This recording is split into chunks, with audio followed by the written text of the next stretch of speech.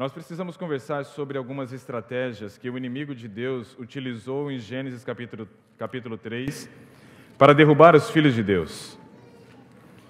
Essas estratégias elas são muito fortes, elas têm um impacto muito grande, e quando nós compreendemos, isso nos ajuda a nos livrarmos de muita enrascada. Vale a pena nós compreendermos realmente quais são essas estratégias, anotar Anote ela na sua Bíblia. Peça uma caneta emprestada caso você não tenha. E anote quais são as estratégias que o inimigo de Deus utilizou-se no Éden para fazer que aquele casal pecasse. Gostaria que você fechasse sua, seus olhos enquanto você está com a sua Bíblia aberta em suas mãos. Senhor que nos altos céus habita, muito obrigado por essa oportunidade de abrir a tua palavra. Obrigado pela liberdade que ainda temos de ler a tua palavra em comunidade, assim como temos feito aqui nesta manhã. Dá-nos o Espírito Santo nesse momento para que ele ilumine a nossa mente e nos traga a compreensão correta da tua palavra. É o que pedimos e agradecemos em nome de Jesus. Amém. Eu vou ler na versão King James, talvez misturando com a versão Almeida Revista e Corrigida, porque é a mais conhecida. O título é A Queda do Ser Humano, nesta versão. Preste muita atenção em cada parte desse texto. A serpente era o mais astuto de todos os animais do campo que Iavé, Deus, havia feito. Um detalhe: havia alguma diferença da serpente do Éden para a serpente hoje? Sim ou não? Sim. Nos livros escritos por Ellen White, uma escritora americana da qual entendemos que foi muito abençoada e iluminada por Deus, ela destaca uma característica interessante da serpente, que antes a serpente voava.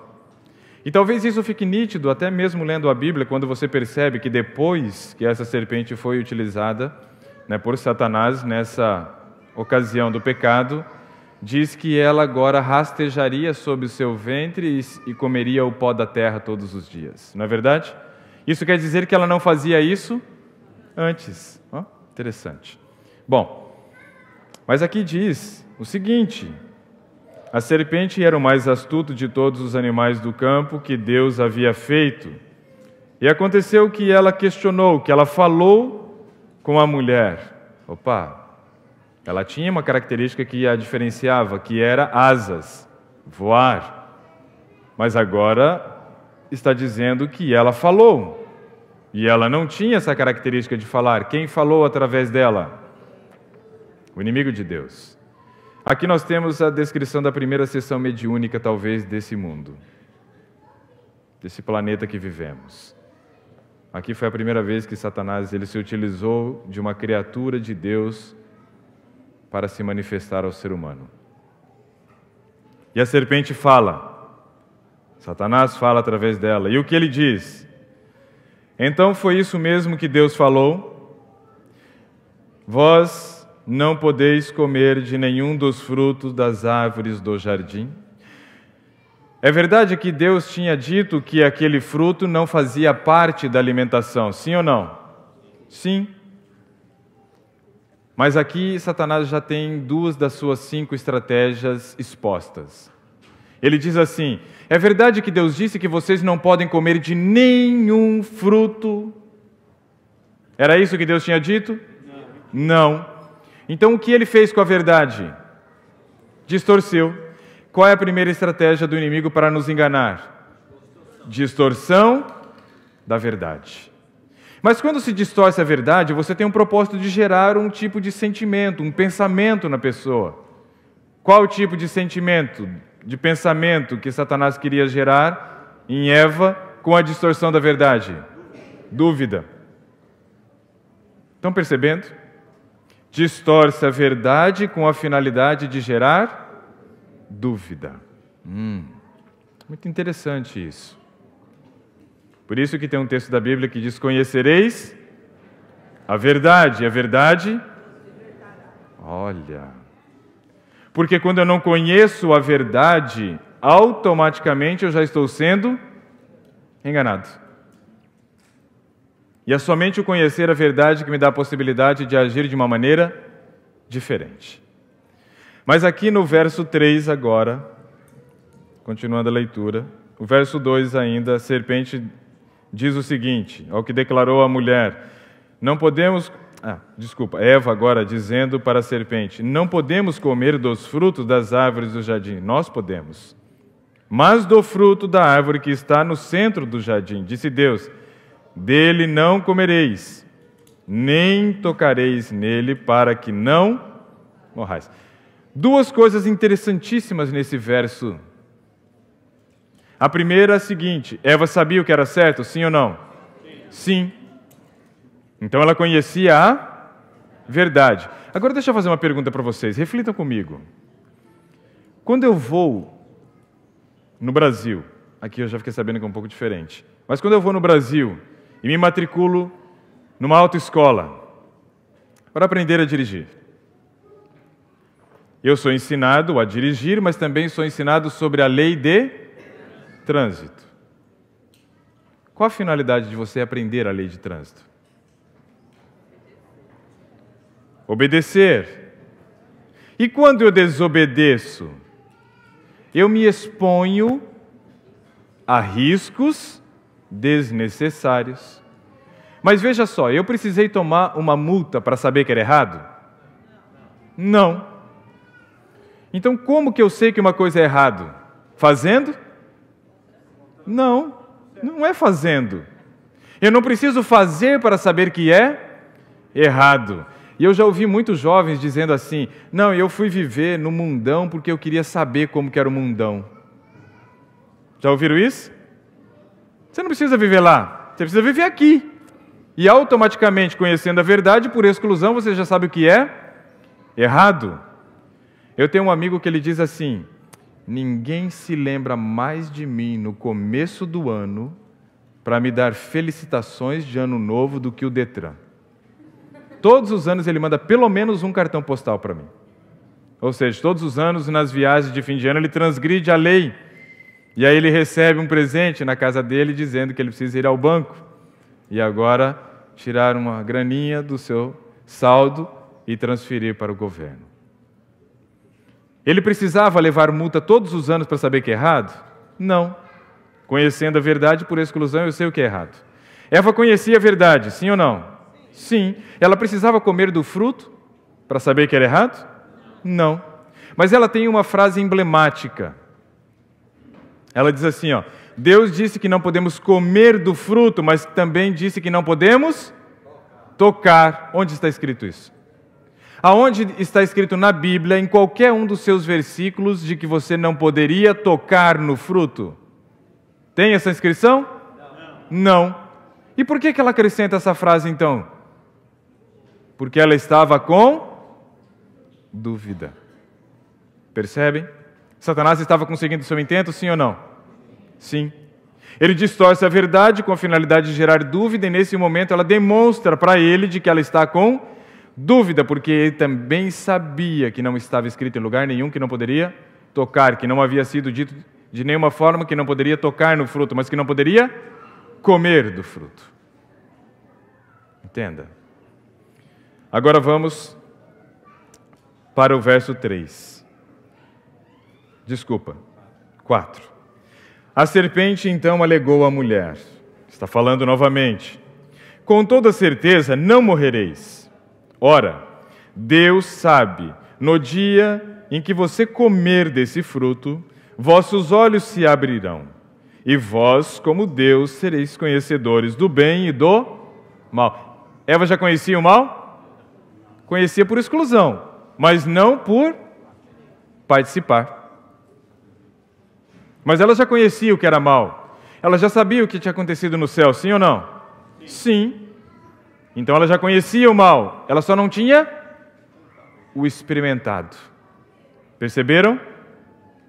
Por isso que eu digo para um jovem muitas vezes: não saia da igreja para experimentar o mundo, porque você já sabe como ele é antes mesmo de provar.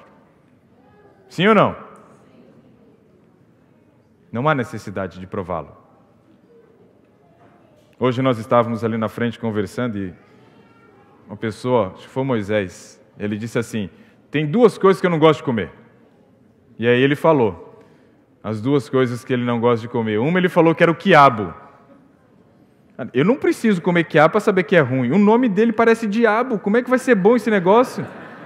Me lembra, me faz uma associação, não pode ser bom. E a minha mãe fazia e insistia. Eu falava: Não, mãe, isso eu não como. Impossível. Então tem coisa que a gente não precisa comer para saber que é ruim. Só pelo nome a gente já sabe, não é? Ou seja, tem coisa que não é preciso provar. O pecado você não precisa provar para você sentir o sabor amargo dele depois na tua vida. Fuja dele o máximo que você puder. Mas para você fugir do pecado é necessário que você conheça as estratégias que são utilizadas para nos apresentar o pecado. Duas delas já vieram. A terceira também está aqui. Vocês conseguem identificar qual é a terceira no verso 4? Qual é a terceira estratégia?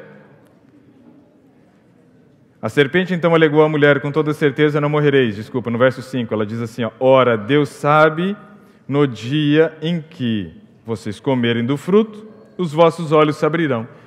O que, que Satanás está oferecendo para Eva agora? Uma vantagem. Ele está mentindo? Sim, claro.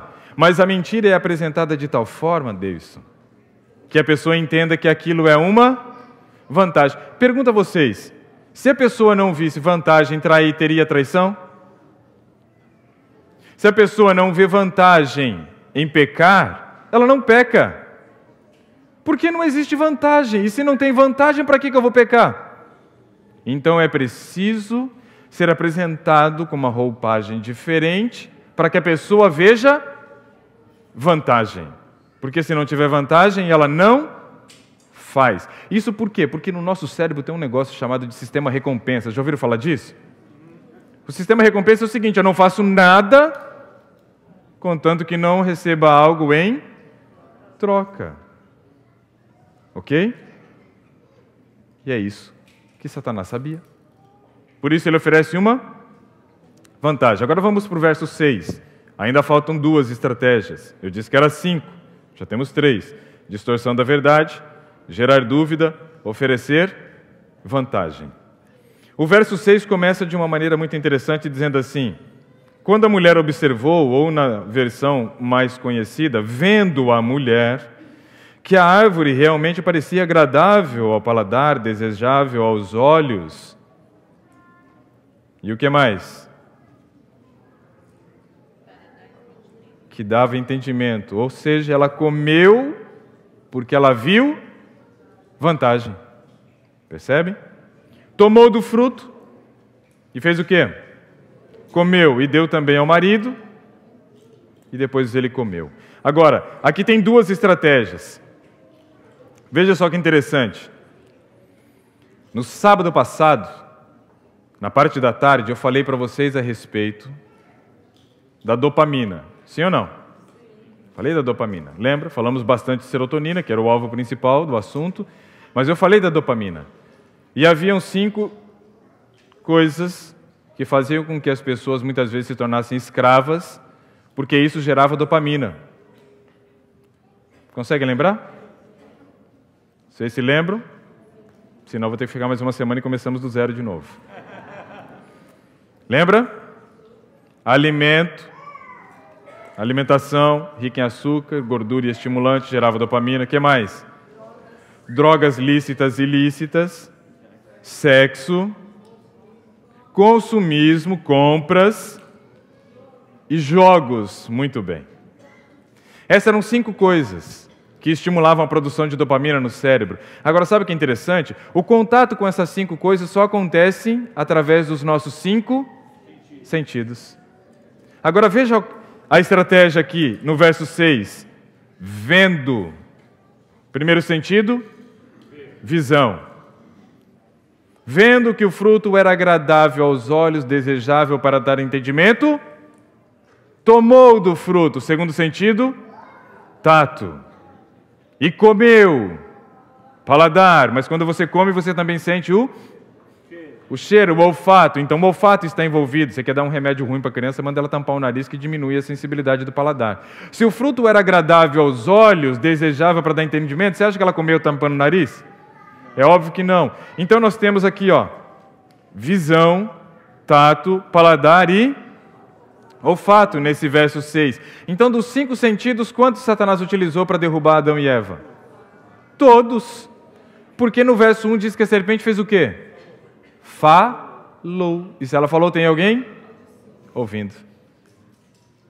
Quatro estratégias: distorção da verdade, com o propósito de gerar dúvida, oferecer uma vantagem e usar os nossos sentidos. Aí, com relação a essa questão de usar os sentidos, eu quero dar um exemplo para vocês. Preste atenção aqui, ó. E a audição, né? Quando você lê um livro, seja ele qual for, seja ele qual for, quando você está lendo um livro, 40% do conteúdo daquele livro está indo direto para o seu subconsciente. Entenderam ou não? Quer dizer que 40% do conteúdo do livro, mesmo que você não queira, ele vai para o seu subconsciente, vai para o seu cérebro, vai ser armazenado e vai influenciar nas suas futuras escolhas, decisões, mesmo que você não queira. Quando você escuta uma música, quando você escuta uma música, 50% do conteúdo daquela música vai direto para o seu subconsciente, mesmo que você não queira. Por isso que agora estou preocupado, porque agora em outubro começa um período trágico no Brasil, que se repete a cada dois anos. Eleição. É o período que tem os melhores programas humorísticos, eu concordo. Né? Quando a gente mais dá risada é quando a gente assiste os programas políticos. Mas aquelas músicas, vocês se lembram disso, né? Eu acredito que talvez aqui não tenha desse tipo. Era terrível. O pior é que o cara passa com aquele carro de som o dia inteiro, a manhã inteira, e você vai ouvindo aquele negócio, mesmo não querendo, 50% do conteúdo está indo para o seu subconsciente. E às vezes, no final do dia, você está lá batendo o pezinho e cantando a música do político que nem é o que você vai votar. Não acontece isso? Talvez você, enquanto morava no Brasil, tenha passado por cena parecida. Porque vai, querendo ou não. Então a gente já começa a analisar alguns aspectos. Cuidado com o que você lê, cuidado com o que você ouve. Mas e quando você se coloca na frente de uma tela de televisão, ou agora no celular, no tablet, assim por diante? Aí é 60%. 60% do que você assiste vai direto para o seu subconsciente, que vai influenciar nas suas futuras escolhas, decisões. Uau! Incrível isso. E assustador também, não? Então, cuidado com o que você assiste. Mas tudo que é ruim pode piorar. O mesmo filme que você assiste na sua casa, o mesmo programa que você assiste ali, caso fosse assistido no cinema, o impacto é maior. Seu campo de visão no cinema está totalmente voltado para enxergar aquela tela. O áudio é preparado de tal forma que gera um impacto muito grande no seu ouvido e gera vibrações que estimulam a produção de determinados hormônios. É um evento social, ou seja, ficamos com a guarda baixa. E quando vamos ao cinema, o impacto é monstruoso. 95% do mesmo conteúdo que você assistiria na sua televisão, que passava 60, agora vai para o seu subconsciente. Por isso a recomendação de não ir ao cinema, porque o impacto é muito maior. Não vale a pena se expor a determinado risco. Eu me lembro que quando eu fui fazer uma semana de saúde em Londres, eu tive a oportunidade de conhecer o Museu Madame Tussauds. É um museu de cera mais famoso do mundo. Depois veio de Nova York, mas foi lá que tudo começou. Nós assistimos ali, passando né, por todos os, os locais do, cine, do museu, chegamos até um certo ponto que tinha um filme. Era um filme da Marvel, porque tinham vários personagens da Marvel em boneco de cera ali. Tinha um incrível Hulk, que era incrível mesmo. Ele devia ter uns 4 metros e meio a 5 de altura, E eu fiquei pensando que Adão era daquele tamanho. Me assustou. Só o pé dele é um negócio desse tamanho. Aí nós fomos assistir o filme da Marvel. Não era um cinema comum. Era um cinema em 5D. Tinha os heróis ali da Marvel. De repente aparecia o Wolverine e ele vinha e cravava aquelas garras que saíam ali da sua mão no inimigo e a poltrona te empurrava. Saíam as garras da poltrona e empurrava a gente. Ou seja, você tinha um grau de participação muito maior. Daqui a pouco o Hulk vinha e batia as mãos e aí soltava um vento contra o inimigo e a poltrona da frente soltava um vento no seu rosto. Incrível, não?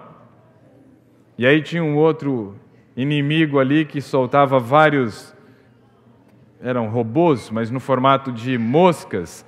E aí vinha um vento nas suas canelas como se fossem as moscas rodando. Foi impactante aquilo, tão impactante que eu nunca mais esqueci. E eu conheço o filme do começo ao fim, não esqueço nenhuma das cenas. Por quê? Porque aquilo foi direto para onde?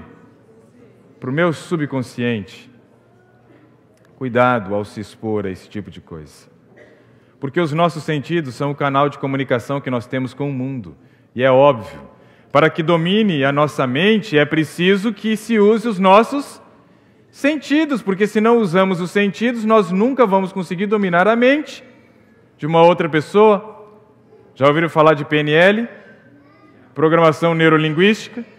A programação neurolinguística usa de tais ferramentas que, através dos seus sentidos, ela vai conseguir botar na tua cabeça o que ela quer. Então entenda que o tempo inteiro tem alguém querendo controlar a tua mente, inclusive agora. E sou eu. Mas eu estou querendo colocar coisa boa aí dentro. Mas é assim que a coisa funciona. Os nossos cinco sentidos têm um peso muito grande. E qual é a quinta estratégia? Distorção da verdade primeira, gerar dúvida segunda, oferecer vantagem, usar os sentidos. Qual é a quinta? Está no verso 6 também. Vendo a mulher que o que era agradável aos olhos? O fruto. Isso é comida, sim ou não? Ah, então quer dizer que usar também o o alimento, o apetite, o paladar. Pastor, empresta o celular para que eu leia um texto. Eu esqueci o meu celular carregando, e aí já achamos o texto aqui. E eu quero compartilhar com vocês um texto. Eu conheço o texto, mas eu quero fazer a leitura porque eu quero que saia na íntegra, da maneira como está escrito aqui. Esse é o capítulo 16 do livro Conselho para a Igreja. Anotem, anotem, esse capítulo Vale a pena a gente dar uma lida depois, com calma. O título do capítulo é Manter desobstruída a conexão com Deus. A página 103 e o quarto parágrafo traz a seguinte informação: Satanás está constantemente alerta para submeter a raça humana inteiramente ao seu controle. O que, que ele quer fazer? Controlar, dominar, escravizar. Já fomos libertos? Mas Satanás quer fazer a gente voltar para o cativeiro da escravidão do pecado. Mas hoje, seu Nilson, pecado não tem mais vez. Hoje é o momento de selar para o seu Nilson. E talvez já tenha sido o seu em algum momento. E talvez ainda não tenha sido o seu. Mas em algum momento é importante que você passe por esse evento. Porque é uma demonstração de que você tem um dono aquele que te criou. Mas não é um dono que quer te escravizar, é um dono que quer te libertar. Incrível, né? É como se ele tivesse pago a carta de alforria e te desse agora a liberdade da escravidão do pecado. Porém, o inimigo não é isso que ele quer fazer. Ele está constantemente alerta para submeter a raça humana inteiramente ao seu controle seu mais forte poder sobre o homem. Exerce-se através do apetite. Onde que Satanás vence a batalha então? Naquilo que eu e você servimos à mesa muitas vezes. Porque isso pode abrir brecha. Olha. Assustador, hein? Forte, né, pastor? Eita, né? Vocês não vão esquecer do eita. Vou ler novamente esse pedaço. Seu mais forte poder sobre o homem exerce-se através do apetite, e este procura ele estimular de todos os modos possíveis. No ano de 1897, um japonês estava no seu laboratório fazendo algumas pesquisas. De repente, ele se encontrou com um sal chamado de ácido glutâmico, o qual depois recebeu o nome de glutamato monossódico. Isso é um veneno tão grande, é terrível. E esse japonês, então, ele começou a vender o glutamato monossódico por uma empresa extremamente conhecida no mundo chamado Ajinomoto. O glutamato monossódico, quando descoberto por ele, gerou nele um impacto muito grande, porque ele percebeu que aquele sal, que é o ácido glutâmico, gerava nas papilas gustativas uma explosão de sabor só que é interessante porque o glutamato monossódico não gerava o sabor doce. E também não gerava o sabor salgado, muito menos o azedo, nem mesmo o amargo. Nós temos quatro sabores que são percebidos pelas papilas gustativas, porém o glutamato monossódico gerava um quinto sabor. Uau! E aí ele deu o um nome de umami. Umami.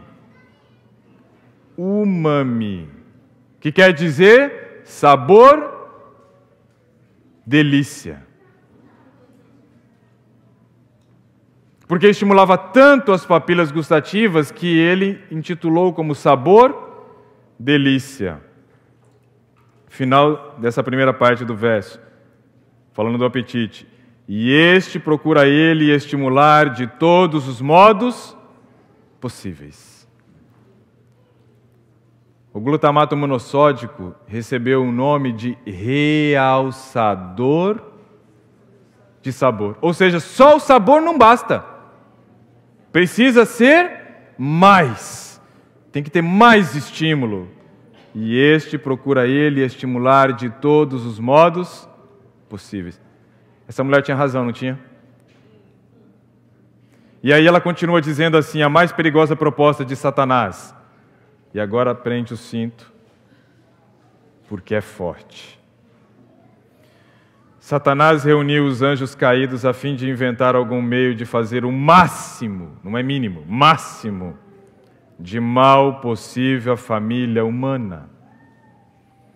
Foi apresentado proposta sobre proposta quem está fazendo essa reunião aqui?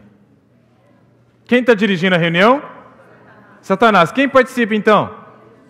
Os demônios. Uau, que coisa do mal. Literal. Satanás coordena a reunião. Os anjos caídos, os demônios participam. Os demônios vêm apresentando suas propostas de como fazer o máximo de mal possível à família humana.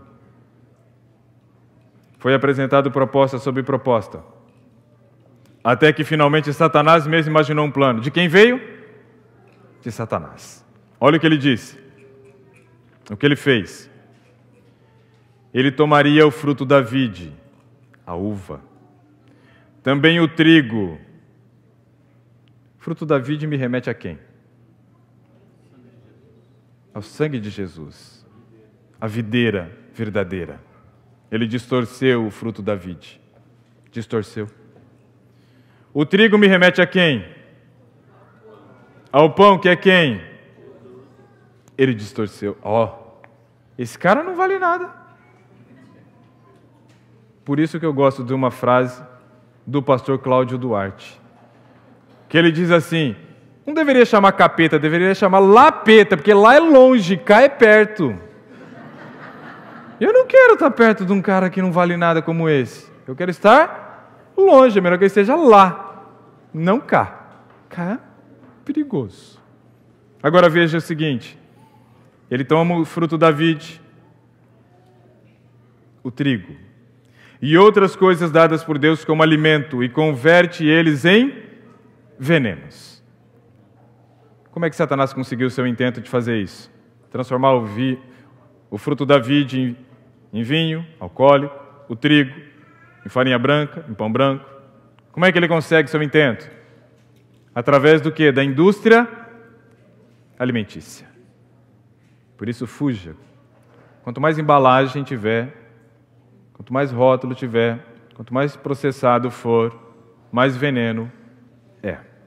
E aí então ele transformaria essas coisas dadas por Deus como alimento em venenos que fariam o quê?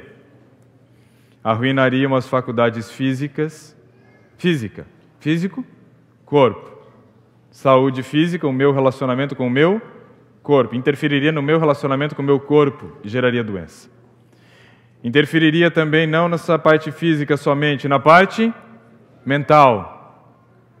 Saúde mental, meu relacionamento com os meus pensamentos e as minhas emoções que conduzem as minhas ações, que formam os meus hábitos e determinam o meu caráter. Isso aqui é um negócio assim fantástico. E ele também faria o quê?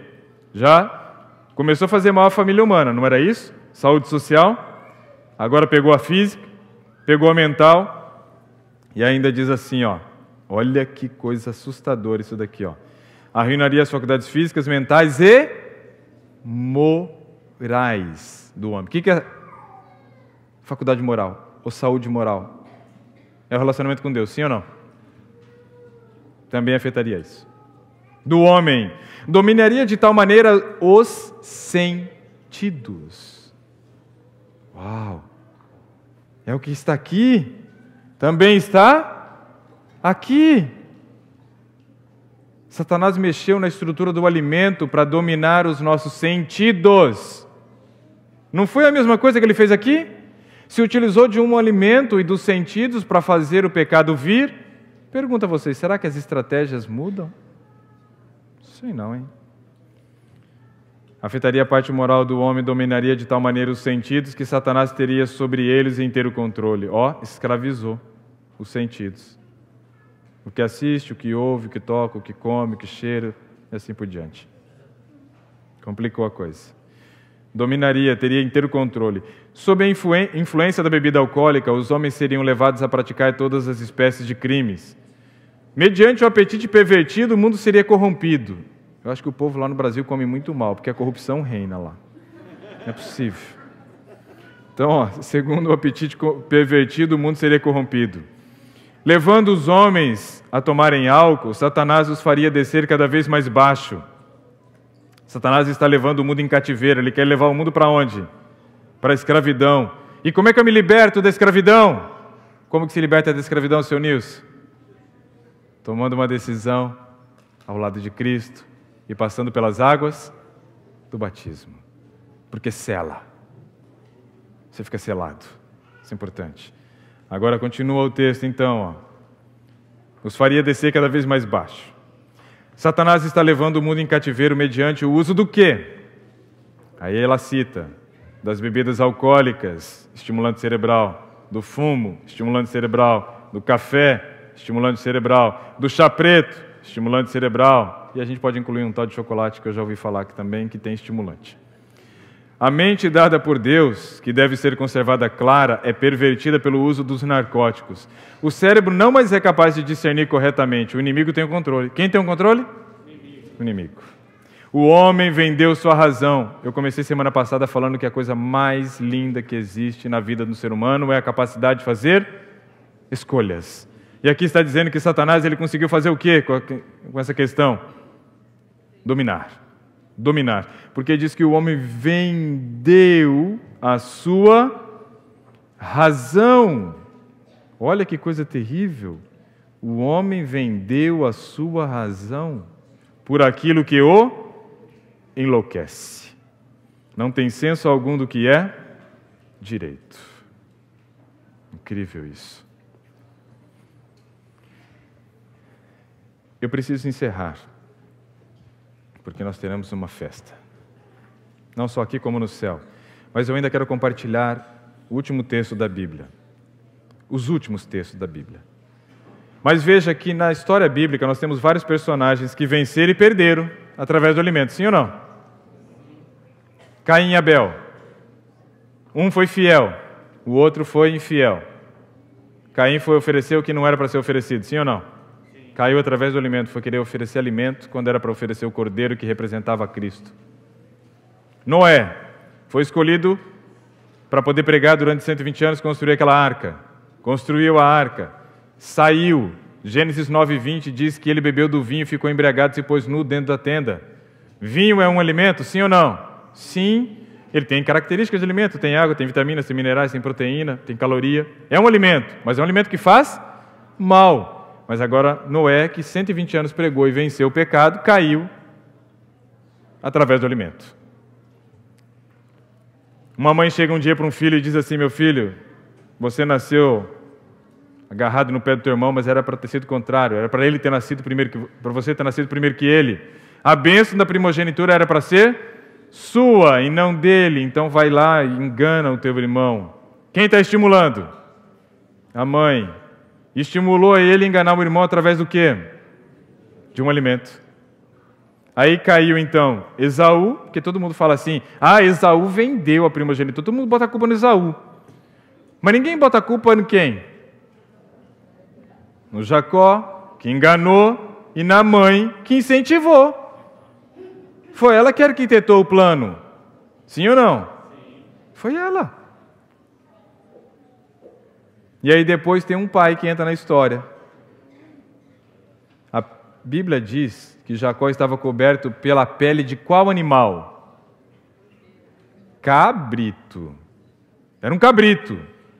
E eu fico pensando se o pelo do cabrito é igual ao pelo do ser humano. Porque eu convivi tanto com cabrito, eu não consigo passar a mão nas costas de um cabrito e achar que tem um ser humano ali, se eu tiver de olho fechado.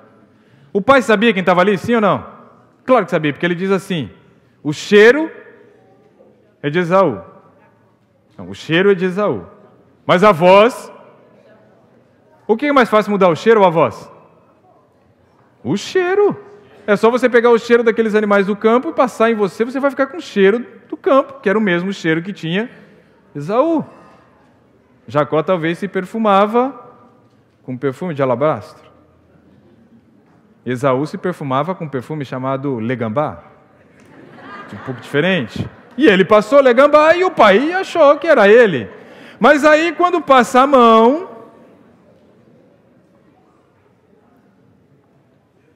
você sabe quem é. Ele sabia. Ele caiu também através do quê? Meu filho, faz o seguinte, ó, pega essa benção aqui, não conta para o teu irmão que eu te dei, some daqui e deixa esse guisado cheiroso. A família inteira caiu através da comida. Sansão foi escolhido para ser o juiz entre o povo de Israel. Caiu através do alimento, era nazireu, não podia ingerir nada que fosse de uva. Comeu mel dentro da carcaça de um leão, imundo alimento. Caiu através do alimento, sim ou não? Sim. Mas aí tinha um jovem e seus três amigos. Daniel e seus três amigos. Venceram através do alimento? A coisa mais emblemática que existe na história de Daniel e os amigos é quando eles tomam a decisão e diz assim, ó, que Deus interviu no caso. Essa é a coisa mais impressionante da história dos jovens. Quando você toma uma decisão firme ao lado de Deus, quem vem agir por você? O próprio Deus. Só que a decisão dos jovens foi que tipo de decisão? Firme. Você fala assim, escolheu firmemente. Não está escrito assim, escolheu frouxamente. Escolheu firmemente. Venceram. Que exemplo, não? Mas eu quero finalizar com o exemplo de uma outra pessoa que eu também considero um marco. Mateus capítulo 4. Mateus, capítulo 4. Todo mundo sabe já o que está lá? O que, que fala em Mateus 4? Tentação de Jesus. Começa a tentação de Jesus dizendo assim: Jesus foi então conduzido pelo Espírito ao deserto para ser tentado pelo diabo. Depois de jejuar 40 dias e 40 noites, ele teve qual era a necessidade básica de Cristo naquele momento? Comida. O tentador se aproximou então e disse: Se tu és filho de Deus, manda que essas pedras se tornem em. Qual era a arma mais poderosa que Satanás tinha contra Jesus nessa situação? O alimento. E tem um texto de Ellen White que ela fala uma coisa que eu acho interessante, que ela diz assim, ó, quando Jesus venceu a tentação do pecado, ele se gabarita como o verdadeiro Cristo. Por quê? Porque ele precisava passar por provas similares, sim ou não? Sim. Aonde caiu o primeiro Adão, o segundo precisava prevalecer. Jesus, porém, afirmou-lhe, verso 4, está escrito, não só de pão viverá o homem, mas de toda palavra que sai da boca de Deus. Então o diabo conduziu a cidade santa, gravem isso. Então o diabo conduz a cidade santa.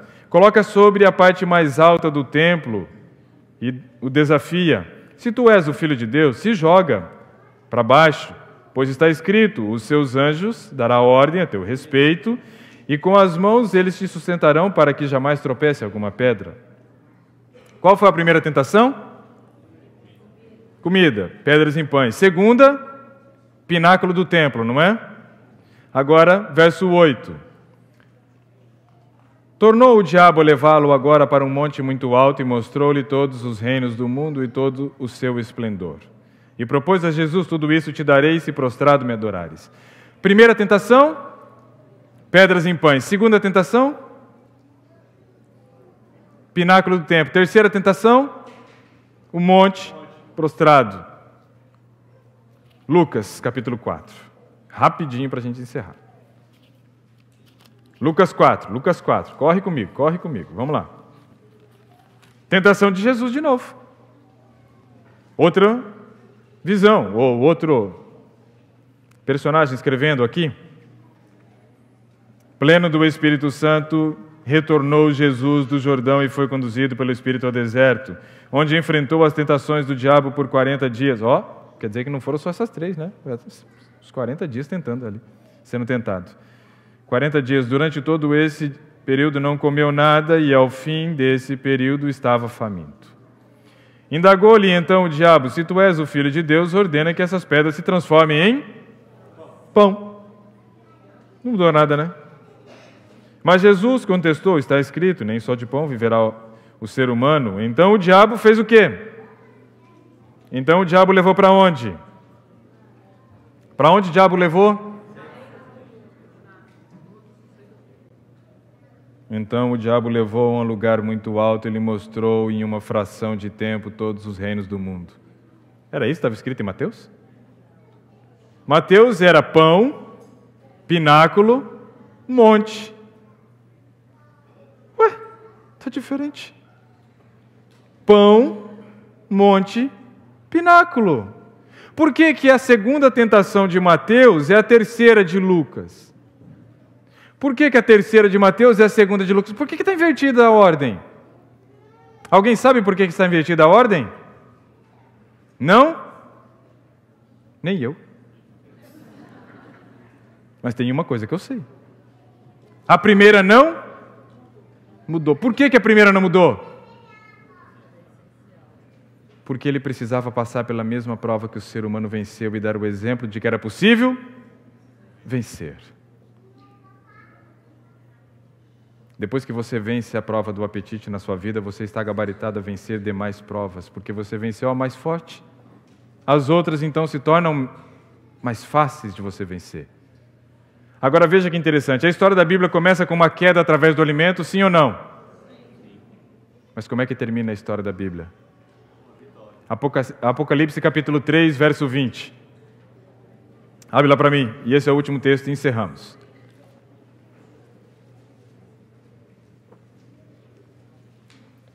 No primeiro livro da Bíblia tem uma queda através do alimento. Satanás engana Eva enganadão, por consequência, e eles caem através do alimento, ok? No último livro da Bíblia tem que ter a restauração. No último livro da Bíblia tem um texto que diz assim: Eis que estou a, a porta aí, bato. Se alguém ouvir a minha voz e abrir a porta, entrarei em sua casa. E o que? O que é cear? Oh. Caíram através de um alimento. Foram restaurados pelo sangue de Cristo. Ok? Terão a possibilidade de comer com Cristo. A mesma estratégia que foi utilizada lá atrás para derrubar é utilizada agora para mostrar de que você venceu. Você vai poder comer na presença de Cristo. É Ele quem está te convidando, e quando Ele convida, quem serve a mesa? Quem serve a mesa? É Ele mesmo.